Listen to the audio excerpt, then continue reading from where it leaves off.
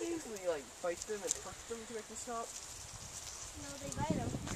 they don't hurt them.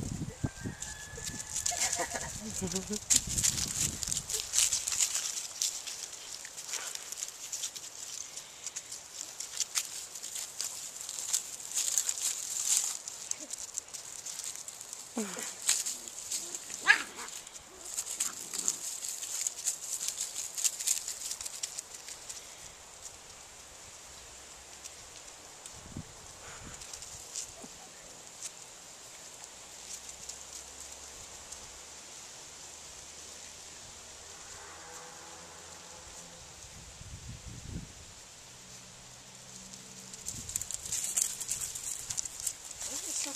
Good girl.